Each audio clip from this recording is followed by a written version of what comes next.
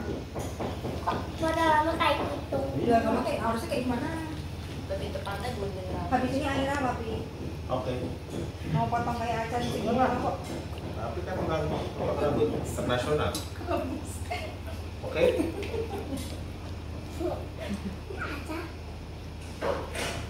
Nah,